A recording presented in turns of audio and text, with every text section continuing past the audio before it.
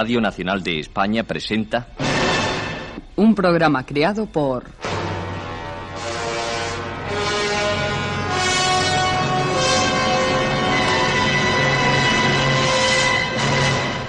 Narciso Ibáñez Serrador. Hoy presentamos a Narciso Ibáñez Menta en El hombre que vendió su risa, guion original de Luis Peñafiel. sobre un cuento de Man Robin.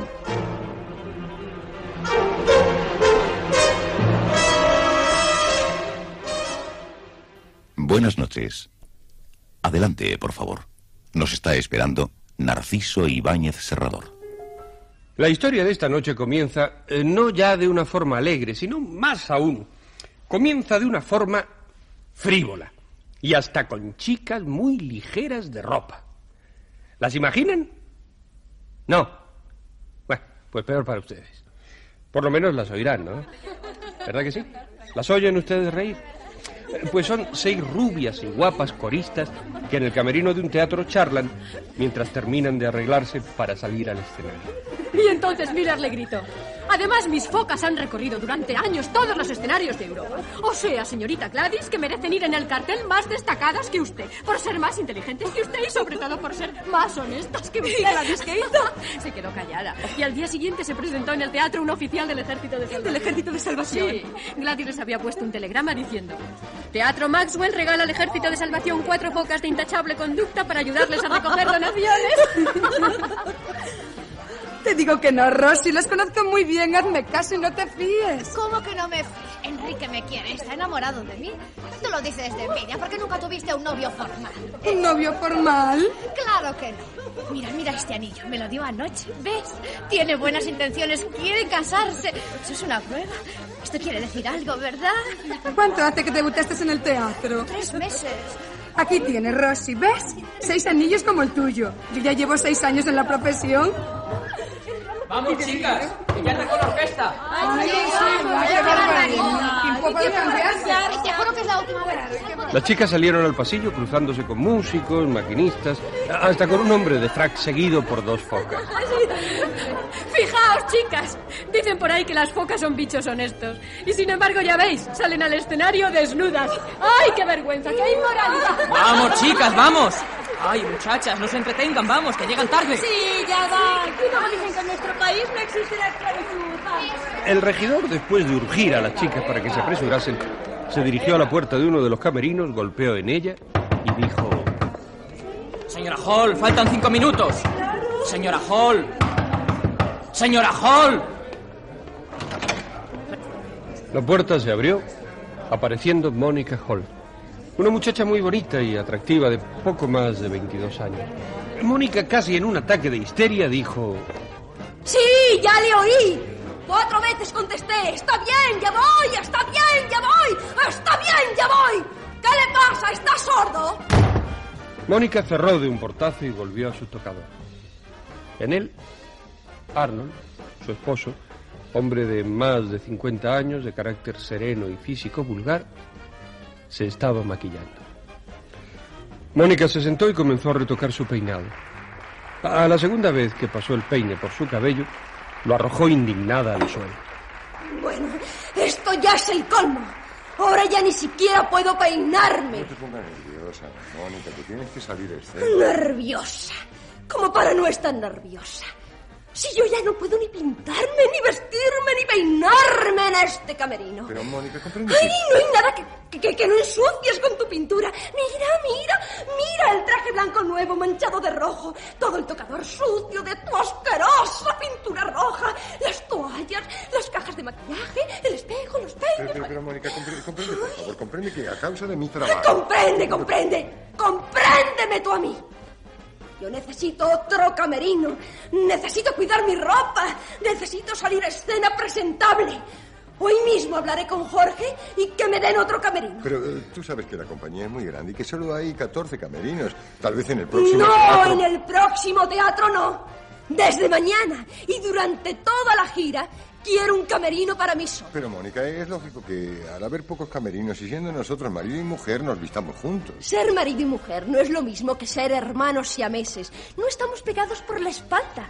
No, Arnold, no. Desde mañana le repito a Jorge que quiere un camerino por... ¡A escena, por favor! ¡Sí, ya va!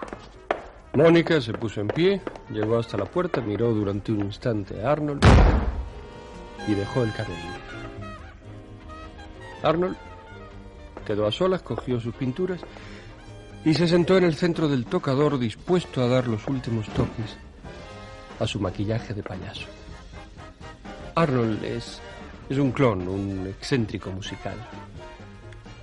Una vez terminada su caracterización, el espejo le devolvió una cara blanca, una enorme y redonda nariz postiza y una mueca roja y sonriente.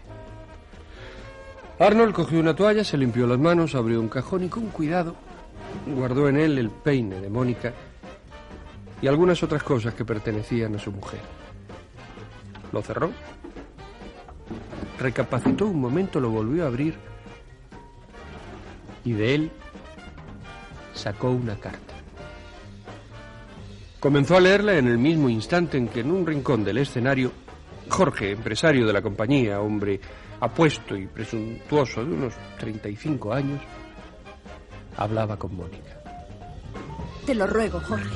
Me es insoportable seguir compartiendo con él mi camerino. Bueno, por mí, pero camerinos vacíos no hay. Tendrás que vestirte con rosa. Bien, lo prefiero. Y otra cosa.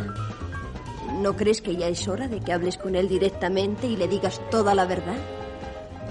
Es lo mejor, Jorge. Lo mejor que podemos hacer. Anda, que llegas tarde a escena. Mónica le dio un beso rápido y se dirigió al escenario. Poco después, unos golpes sonaban en la puerta del camerino de Arnold. Sí. Adelante. ¿Qué pasa, Jorge? ¿Qué querías? No, nada. Venía a charlar un rato contigo. Ah, bien, siéntate. Mónica me pidió que le diese otro camerino. Ah. Le dije que se vistiese con Rosalind. Así que si tú estás de acuerdo. Sí, sí, claro que sí, porque no había de estarlo. ¿Algo más? No, nada. O sí, bueno, se trata del empresario. El empresario de este teatro. Hablamos sobre tu número, ¿sabes? Y sobre Mónica. Sí, sí, ya, ya, lo, lo de siempre, ¿no es eso, Jorge? De cómo gusta Mónica, cómo aplauden a Mónica, lo moderna que es Mónica y... Y luego la segunda parte. Que nosotros, los excéntricos musicales, ya no gustamos tanto como antes. Que notas que no se ríen tanto como antes con el chiste del cubo de agua o, o con el de la trompeta. Que te escribió el empresario del próximo teatro. Que los números de una compañía en gira deben ser todos eficaces 100%. Bueno, Arnold, si no vas a dejarme hablar, no podré. No, no, Jorge. No voy a dejarte hablar. Seré yo el que hable. Y mucho, Jorge. Te aseguro que tenemos mucho que hablar. Bueno, por mí ya puedes empezar. Hace cinco años que nos conocemos y lo creo. No, no, no, perdona. Detrás del número de Mónica va el mío y, y ahora no tengo tiempo. Pero en cuanto termine, ven, ¿eh? Que tengo que hablarte. Por mí, de acuerdo. Pero eso sí, te ruego que me adelantes de qué se trata. No, Compréndeme no, que... no, no, Jorge, perdona, pero, pero no, no tengo tiempo. Después sí, ¿eh? Eh, Además, Mónica se llevará la ropa a otro camerino y, y nos dejará este para los dos, para, para ti y para mí, Jorge. Pa- Para que podamos charlar con toda tranquilidad. ¿eh? Pero, Arnold, ¿a qué viene tanto misterio? ¿Podrías al menos decirme...? No, no, Jorge, no. Ahora no. Después, ¿comprendes? Después. En el escenario, Mónica agradecía el tibio aplauso con el que el público recompensaba su vulgar actuación como cantante melódica. Sonó una fanfarria, se levantó de nuevo el telón y apareció Arnold. Arnold junto a sus grotescos instrumentos de excéntrico musical.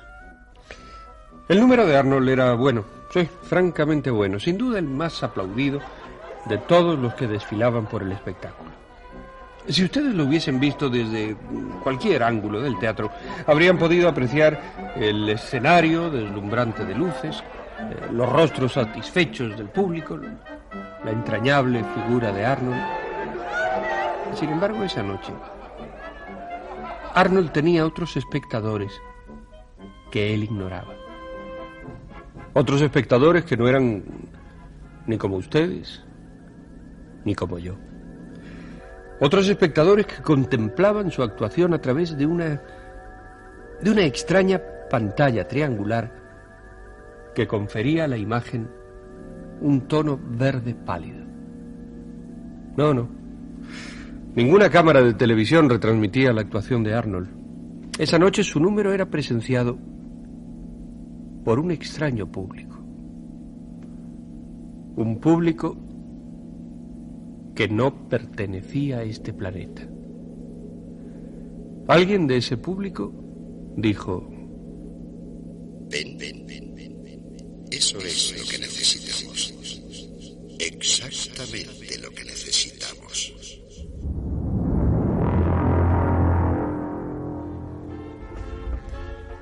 Después de su número, Arnold terminaba de despintarse mientras Mónica concluía el traslado de su ropa a otro camerino.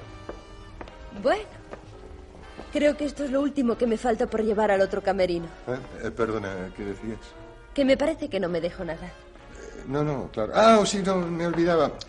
Eh, toma, eh, en este cajón quedan algunas cosas tuyas. Las puse aquí para, para no ensuciarlas. Tu peine, esta polvera, el lápiz de labios, esta carta. Eh, Tú saldrás a cenar, ¿no? Sí, claro. Tú no. No, no, prefiero quedarme a arreglar mis cosas en el otro camerino. Bueno, como quiera, aunque te advierto que tendrías más tiempo para todo. Faltará media hora para que termine la sesión de la tarde, más una hora de descanso entre función y función, y luego unos 20 minutos hasta que salgas a escena. Eh, Yo creo que podrías ir a cenar y luego... No, no, no, prefiero quedarme. Después de la última sesión comeré cualquier cosa. Ah, como quieres. Mónica abrió la puerta en el preciso instante en el que Jorge iba a llamar. ¿Qué, qué? ¿Cómo vas a mudar? Bien, ya terminé. Eh, pasa, Jorge. Hasta luego. Sí, hasta luego, Mónica. Pasa. Vine porque me dijiste que... Sí, eh, que quería hablar contigo en cuanto terminase mi número. Así es. En cuanto terminase mi número. Pero eh, calculé que te retrasarías unos seis o siete minutos. O sea que ibas a llegar aproximadamente cuando los coronas empezaran su número de patinaje. ¿Oyes? Esa música los anuncia. mi cálculo fue exacto. Siempre calculo bien. ¿Sabes, Jorge? Es necesario para mi trabajo. Lo mismo que para un matemático o un físico. Sí. Yo también tengo que calcular. Eh, calcular eh, qué pausa hay que hacer entre chiste y chiste. Calcular cuánto debe durar mi número para que no canse, haciéndolo más largo si se ríen mucho, o cortando partes y detalles si hay poco público y empieza a aburrirse. Siempre calculé. Desde chico, ¿sabes? Y calculé bien. El único cálculo que me falló fue Mónica. Sí. Calculé que me quería. Que me quería lo suficiente como para no engañarme y... ya ves. Me equivoqué. Me engaña contigo. Pero qué disparate estás diciendo. No vas a decirme que supones que Mónica y yo... Déjame hablar, Jorge. Eh, Pero Arnold, es que acabas de decir que... Que me dejes hablar, te he dicho. Por una vez voy a hablar yo. Desde hace cinco años eres tú el que habla. ¿Recuerdas? Cinco años pasaron desde que firmé un contrato que me ponía en tus manos. Firmé y empezaste a hablar. Primero hablabas, hablabas y hablabas y hablabas, alabándome, ponderándome. Claro, yo, yo entonces estaba arriba, ganaba mucho, me solicitaban en teatros, en circos, hasta en programas de televisión. Me propusieron una gira, yo no quise hacerla, pero tú hablaste, hablaste, hablaste y terminaste por convencerme. Yo, yo, yo no supe ver que la gira era a ti a quien convenía. Tú programabas los teatros, tú arreglabas los contratos y hablando, hablando, hablando, te fuiste quedando con la mayor parte del dinero que yo ganaba. Al dejar de actuar en las grandes ciudades, mi nombre se fue olvidando. Al hacer el mismo número tres veces diarias, un día tras otro, mis chistes se fueron haciendo menos efectivos. Yo, convirtiéndome en máquina, perdía naturalidad. Y tú, mientras tanto, hablabas, hablabas, hablabas y, y hablando. Me robaste todo, Jorge. Mi dinero, mi nombre. Estás diciendo insensateces. ¿Cómo puedes pensar que yo... Y ahora, Mónica. Es lo único que me quedaba. Mi mujer. Y también te la llevas. Te he visto hablando con ella en los pasillos, en los rincones del teatro, hablando, hablando y... Y la habrás convencido. Pero ¿cómo te atreves La a habrás suponer? conquistado. Eh, no, no, no trates de negarlo, Jorge. He leído la carta de un abogado diciéndole qué trámites debe seguir para divorciarse de mí. Pero Arnold, ¿cómo puedo probarte que... ¿Qué? Escuchas. Falta un minuto para que los coronas terminen su número. Él la toma ella de las manos. Gira sobre sus patines más rápido, cada vez más rápido, hasta que ella deja el suelo y queda en el aire girando, girando, girando. En la orquesta el tambor redobla, subrayando la tensión del momento. Pero, ¿eso a qué viene? Mis cálculos. Cuando termina el número, la orquesta ataca de golpe y el público aplaude amortiguando todo ruido que pueda haber en el teatro. Sí, Jorge. Me robaste mi dinero, mi nombre, mi mujer. Y ya no tengo fuerzas ni ánimos para intentar reconquistarlos. Lo único que puedo hacer es no dejar que disfrutes de todo lo que me robaste. Compréndelo. Es justo. Y Arnold, tranquilo, sereno, abrió su caja de maquillaje y de allí, de allí sacó un revólver. Mónica tiene razón. Mira. También el revólver está manchado. Todo lo ensucia la pintura roja. Pero... ¿Pero qué vas a hacer? Matarte, Jorge. En el escenario, eh, los Corona, pareja de patinadores, giraba y giraba y giraba, adquiriendo más y más velocidad. Matarte. Si tengo la suerte de que nadie escuche el disparo, tendré cuatro horas de tiempo para salir de esta ciudad e intentar cruzar la frontera. Pero Arnold, eso... Oye, ya falta poco. Muy poco para que el público aplauda y la orquesta ataque con toda su fuerza. Como ves, hay algo que no pudiste robarme. El don de saber calcular. Estás loco. ¿Oyes? Arrecia el redoble. Eso quiere decir que se soltaron de una mano. Ahora, para terminar, solo les falta dar 15 vueltas. Es simple, es simple. Solo hay que contar hacia atrás como- en la salida de los cohetes. Por favor. Siete, seis, cinco, cuatro, Arnold. tres, Puedes creerme. dos, Yo, yo nunca... uno.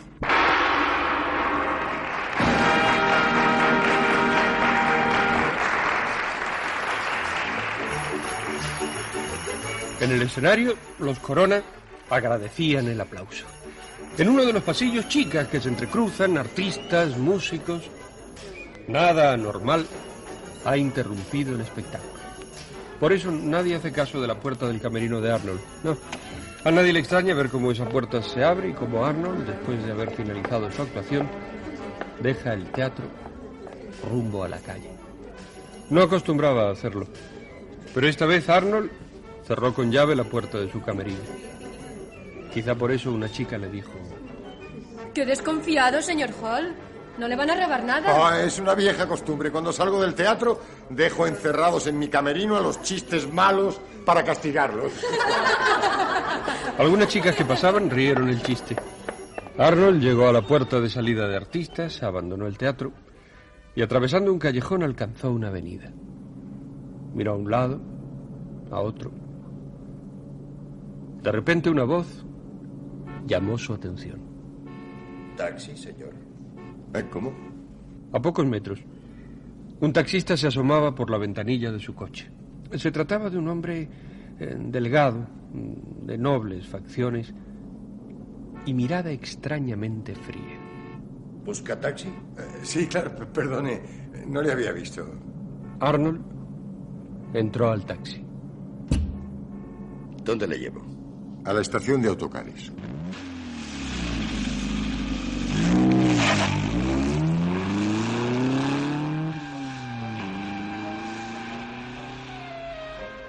El taxi dejó a Arnold frente a la estación de autocares. Fue hasta una de las ventanillas, sacó billete para la frontera de México, subió a un gran coche y poco después el vehículo se puso en marcha. Arnold se había dormido. Puede que durmiese una hora o dos o tres. No lo sabía. Miró a su lado y en su rostro nació un gesto de alarma y desconcierto. El pasajero sentado junto a él era igual, o al menos muy parecido, al taxista. Perdone, pero usted no... Decía, señor. No, nada.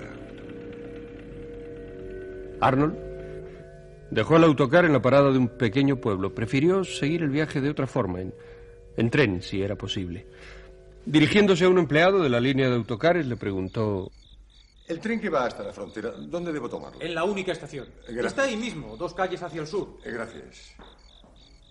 En una pequeña y vacía estación ferroviaria, Arnold aguardaba la llegada de su tren. Un pitillo, otro, hasta que por fin del fondo del silencio fue naciendo el ruido de un tren que se aproximaba. Arnold se preparó para tomarlo. El tren llegó a la estación al tiempo que Arnold, recorriendo el andén, buscaba los vagones de primera clase. De repente, algo le inmovilizó. Algo que había visto en una de las ventanillas. Algo que le espantó.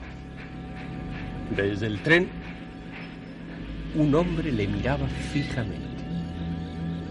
Un hombre muy parecido o exactamente igual al del autocar y también al taxista. No. No es posible. No es posible. En el rostro del hombre del tren se dibujó una sonrisa y, su cabeza se inclinó en un imperceptible saludo. Las ruedas se pusieron otra vez en movimiento, el tren cobró velocidad y se alejó, dejando a Arnold a solas en el andén. Poco después, alguien se le acercó. Uno de los guardas de la estación. ¿Por qué no subió, señor? Ahora no tendrá otro hasta mañana. Ah, sí, claro, pero eh, es que prefería aguardar, a- aguardar al de mañana. Eh, perdone. Señor.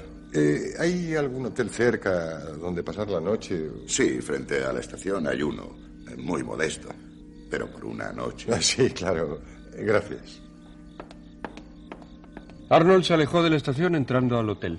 Bueno, a eso que en el pueblo llamaban hotel. Haciendo de portera una vieja sucia y de mal carácter, acariciaba un gato tan sucio y desagradable como su dueña. Tome, habitación 17. Subiendo la escalera, la última del pasillo. Tres dólares por adelantado. Aquí tiene. Arnold pagó los tres dólares. Y subiendo la escalera llegó hasta el primer piso, luego recorrió un pasillo y por fin alcanzó la puerta número 17. Abrió con su llave, entró y encendió la luz. La habitación era pequeña y vulgar. Arnold, después de echarle un vistazo, se encogió de hombros como resignándose y entró al baño.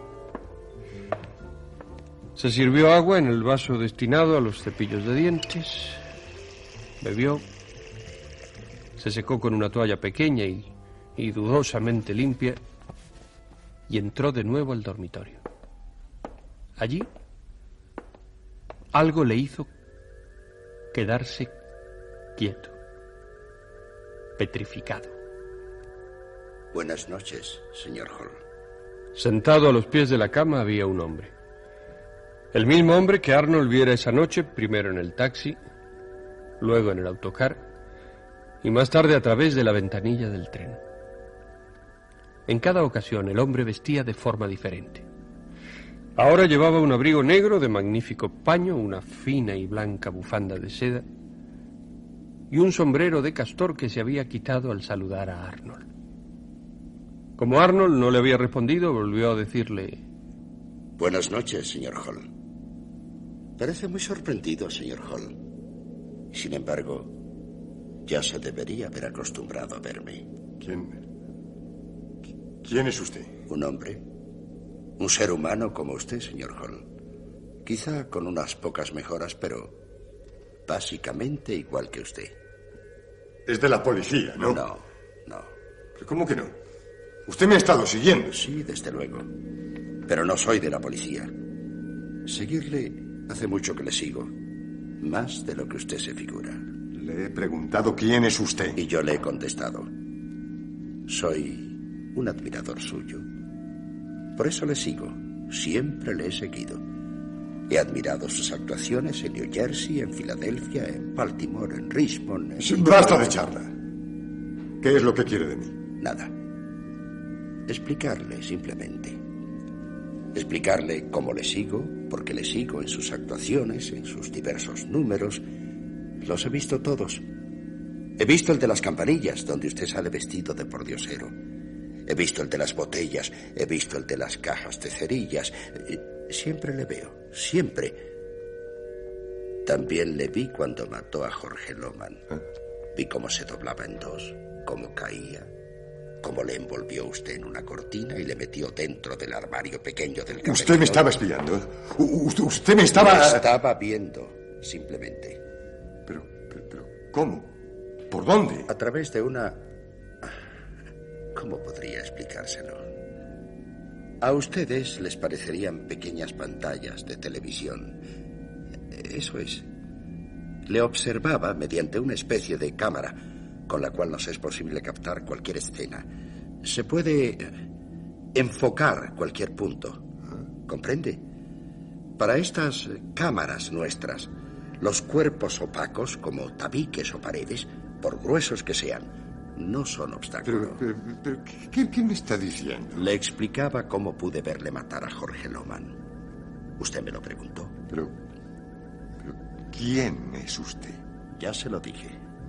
Un hombre. Un hombre como usted. ¿De dónde viene? Eso es diferente. Vengo desde mucho más lejos de lo que puede usted imaginar. Mire, no estoy para bromas, ¿eh? Así ya que... lo sé, ya lo sé. Arnold, llevando la mano a su cintura, empuñó su revólver. Recuerde que al que mata una vez, le es más fácil volver a hacerlo. También lo sé. Y sé lo difícil que va a ser convencerle. ¿Convencerme? Sí. De que no pertenezco a este planeta. Pues no diga estupidez. No son estupideces. Apriete el gatillo. ¿Cómo? Apriete el gatillo. Vamos, no tenga miedo. Trate de disparar. Hacia otro lado si quiere, pero dispare. Se hizo una pausa.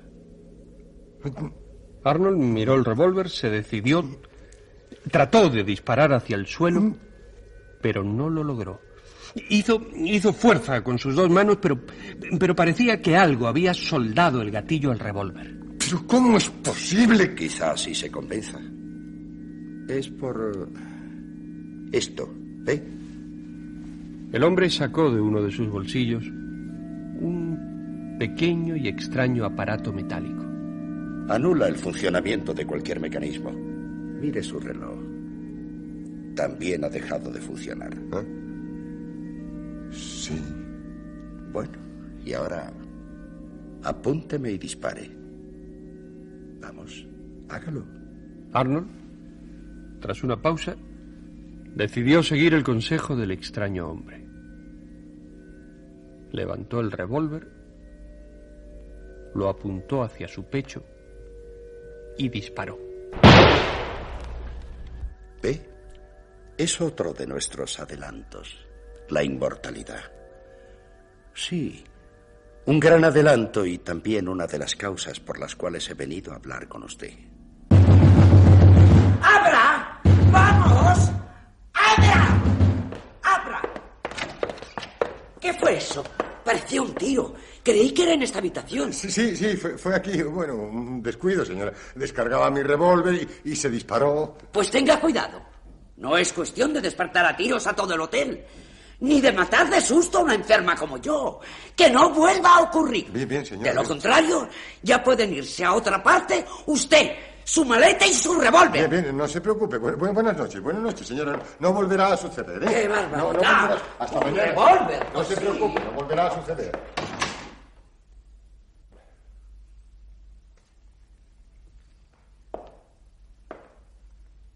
¿Qué quiere de mí? Eso está mejor. Creí que sería más difícil convencerle.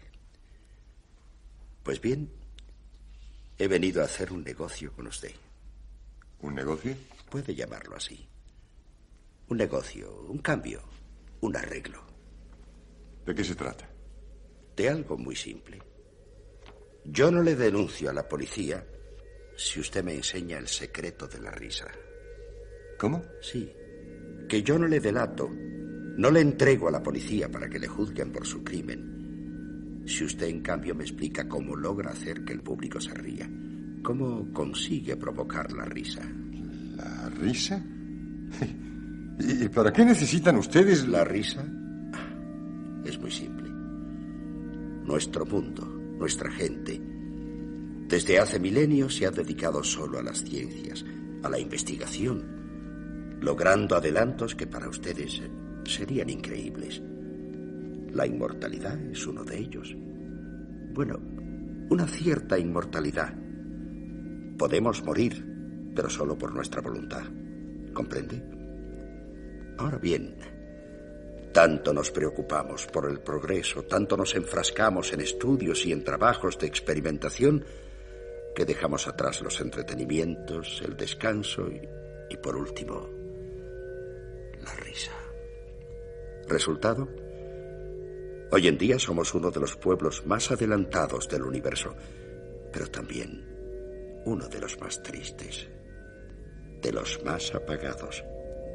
¿Comprende? Al olvidarnos de reír, dejamos que nos invadiese el hastío, la depresión. Poco a poco fuimos perdiendo el impulso de seguir adelante en nuestras investigaciones y por último llegamos a perder hasta el interés por la vida misma. Al parecernos la existencia una cosa gris y monótona, ha sobrevenido una ola de anulaciones voluntarias, eh, de suicidios, como ustedes los llamarían. Ya le aclaré que lo único que puede matarnos, destruirnos, es nuestra propia voluntad. Bien, eso es todo. Ese es el pacto. No le delato a la policía si me enseña a hacer reír. ¿Qué me contesta?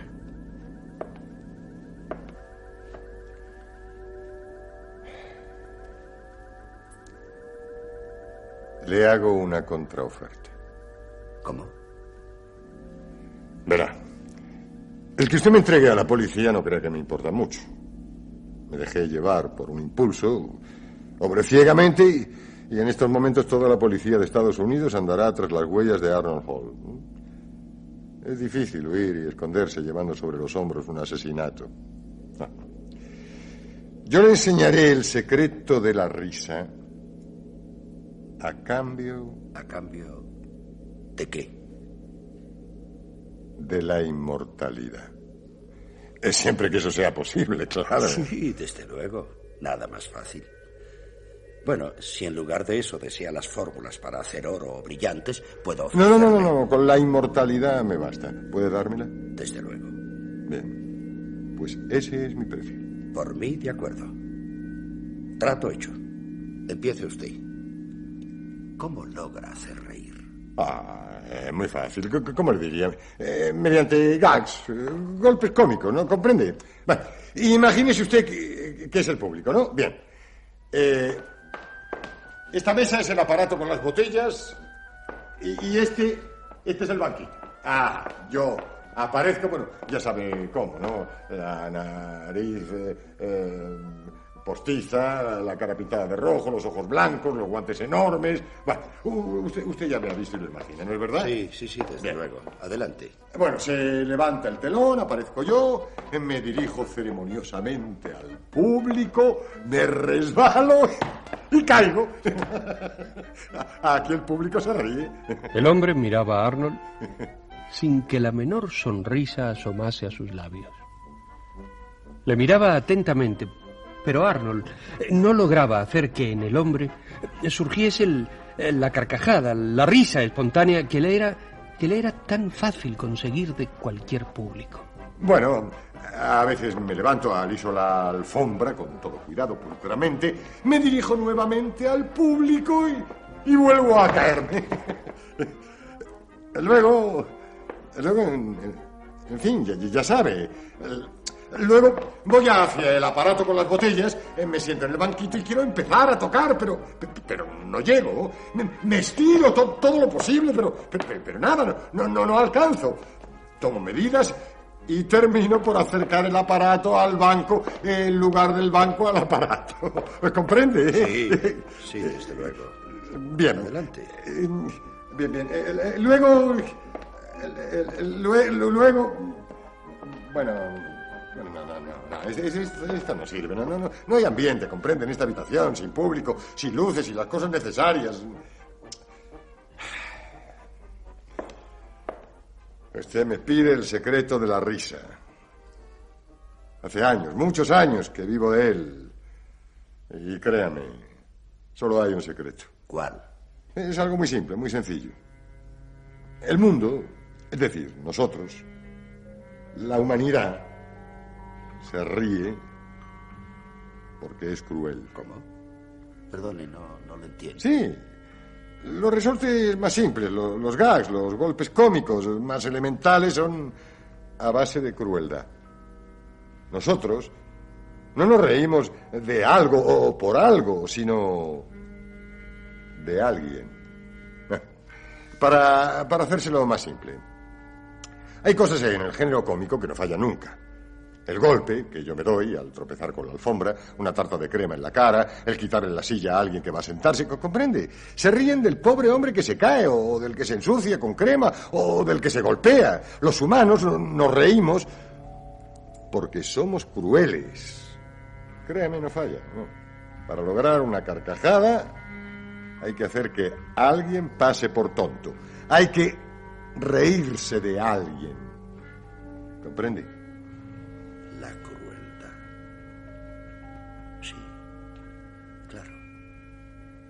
No se me había ocurrido. Si es tan simple. Bien, se lo agradezco. Y ahora, tome. El hombre metió su mano en uno de los bolsillos de su abrigo y de él sacó sacó una pequeña botella de extraña forma que contenía un líquido luminoso. Bébaselo. ¿Qué es esto? Mi parte en nuestro trato. Vamos, no lo dude. Bébaselo. Arnold quitó el tapón de la extraña botella durante un segundo, dudó y luego, decidido, se la llevó a los labios, bebiéndose el raro líquido luminoso. Bien, eso es todo. ¿Cómo se siente? No, no sé. No, no- no sé, más, más, más- más liviano. Más, más como, como. como si fuese más joven o, o más fuerte. Y así se sentirá siempre. Siempre para siempre.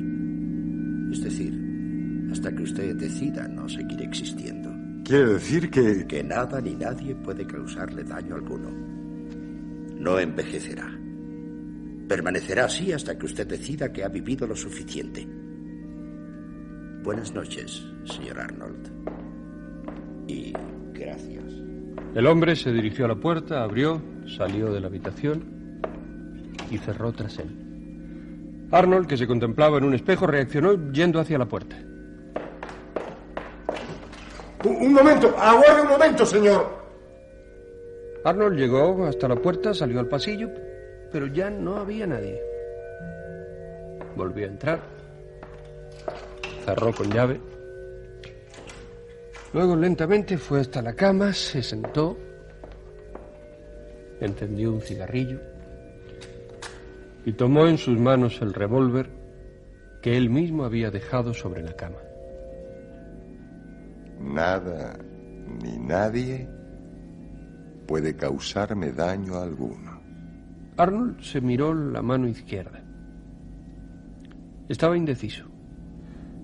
Sus ojos iban del revólver que sostenía en su mano derecha a su mano izquierda. Lentamente aproximó el cañón a la palma de la mano y cerrando los ojos disparó. Abrió los ojos comprobando que en su mano no, no había la menor huella. Sin embargo, poniéndose en pie, avanzó unos metros y vio. Vio cómo la bala había perforado la madera del piso. Arnold, como, como en una extraña borrachera, volvió a empuñar el revólver y, y se disparó en el brazo. Luego en el cuerpo. Reía y reía feliz. En el pasillo la portera protestaba por el escándalo de los disparos y la absurda risa que atronaba en el derecho.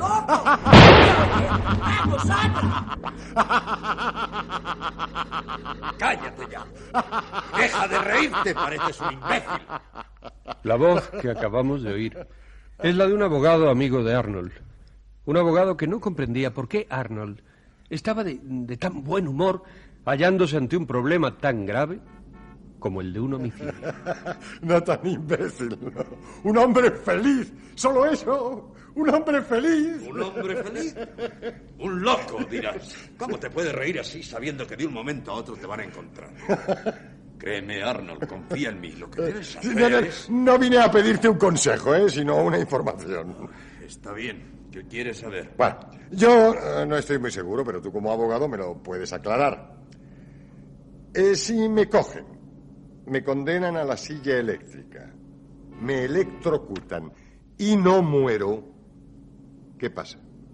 Es un absurdo. Bueno, eso no te interesa. ¿Qué pasa? Bueno, pues si te condenan a la silla eléctrica y no te achicharran, Ah, te tienen que dejar en libertad. ¿estás seguro? Claro que sí. Te condenan a sentarte en la silla eléctrica y aguantar tres descargas que matarían a un caballo. Te condenan a eso, pero a nada más. Si por alguna especie de milagro no murieses, tendrían que dejarte en libertad. No te pueden juzgar otra vez por un mismo delito ni te pueden conmutar la pena. ¿Estás bien seguro, no? Claro que sí, te he dicho. Hubo el caso de un negro que no sé por qué circunstancias no murió. Quedó idiotizado porque la electricidad le hizo puré los sesos, pero no murió y le tuvieron que dejar en libertad. Bien, eso es todo. ¿Qué vas a hacer? Entregarme a la policía.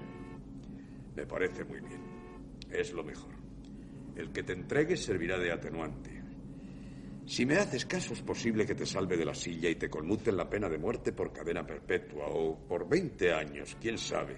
Lo que más te conviene. Lo que más me conviene es que yo sea mi propio abogado defensor. Estás loco, Arnold.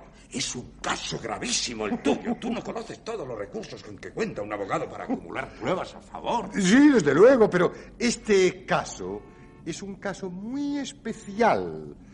Lo que yo necesito son pruebas en contra. ¿Comprendes? Pruebas en contra. Cada vez que le entregaban un periódico, Arnold reía y reía. Por los grandes titulares podía seguirse el curso del proceso judicial de Arnold. A través de semanas se había publicado Se entregó Arnold Hall. Hall rechaza ser defendido. Arnold Hall se ríe del tribunal. El asesino más cínico del siglo acogió con una carcajada su sentencia de muerte. Y por último, Arnold Hall será ejecutado esta noche. Arnold, en su celda, seguía riendo y riendo y riendo. Junto a él un sacerdote y el alcaide de la casa. ¿Está preparado, Hall? Sí, sí, desde luego, alcaide. Cu- cuando gusten. ¿Ha pensado bien en lo que va a ocurrir? Sí, ya, ya lo creo, padre. No teme al más allá. Usted me dijo que era un buen creyente. Sí, desde luego, padre. Temo y respeto eh, el más allá. Lo, lo- lo que no me produce ningún miedo es el más acá. Eh, ¿Comprende? Pero, por favor, no, no, no pongan esas caras, porque aunque no quiera, aunque trate de estar serio, ya, ya, lo, ya lo ven, ya lo ven. Me, dan ganas de, re- de reír. No, no, claro, claro, claro, ust- ustedes no comprenden, no, no pueden comprender, pero... y como, como para morirse de risa. Sí, cu- cuanto más grave lo veo a ustedes, más, más, más ganas tengo de, reír. Pero, pero, pero va- vamos, vamos, va- vamos ya, por, favor, va- vamos. Los tres hombres dejaron la zona. Arnold reía y reía y reía y, y siguió riendo mientras atravesaban un largo pasillo. Dos policías iban a su lado y tras él el sacerdote, el alcaide y cuatro policías más. Entraron a otro pasillo y Arnold... Arnold siguió riendo y, su risa aumentó cuando abrieron la puerta de la cámara de ejecución. Eh, Tampoco dejó de reír cuando le sentaron en la silla eléctrica, cuando le sujetaron con correas piernas y brazos, eh, cuando colocaron los electrodos, cuando le pusieron el casco metálico. Eh, El alcaide, el sacerdote, los testigos presentes se miraban unos a otros sin entender nada. Tal vez pensaban que se iba a cometer una injusticia por ejecutar a un demente. Arnold, Arnold seguía riendo, riendo. El oficial que ejercía de verdugo llevó su mano hasta la gran llave que daba paso a la corriente eléctrica. Miró a Arnold que reía y reía y reía. Luego al alcaide que le hizo una seña de conformidad. Y de un golpe conectó la llave.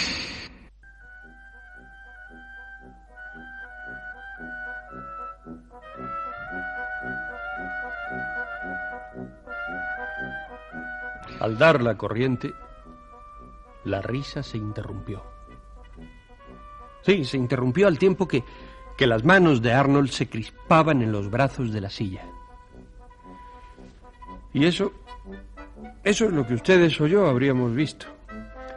La trágica figura de un sentenciado que acababa de morir. Y la habríamos visto como tantas veces la hemos visto en fotos o en películas. Pero esta vez, esta vez Arnold también contaba con un público muy particular.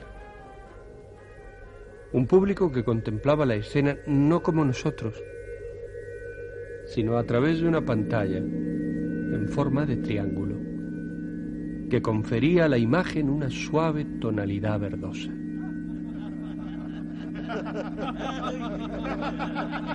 Y ese público, ese público comenzó a reír y a reír y a reír con extrañas risas, con risas que no eran humanas. Y de entre esas risas surgió una voz que dijo, Sí, tenía razón. Para reírse hay que ver a alguien hacer el tonto.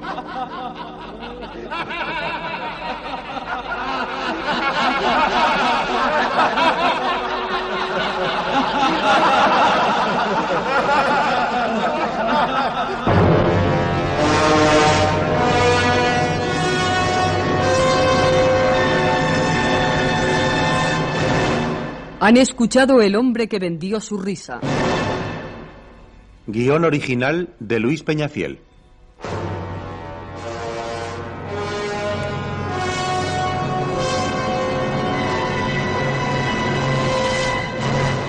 Sobre un cuento de Man Robin. Ha sido interpretado por Narciso Ibáñez Menta y la gran compañía de actores de Radio Nacional de España. Control y registro de sonido, José Fernando González y Francisco García. Montaje musical, Gonzalo Corella. Efectos especiales, Bernardo Domingo y Joaquín Úbeda. Dirección y realización, Narciso Ibáñez Serrador.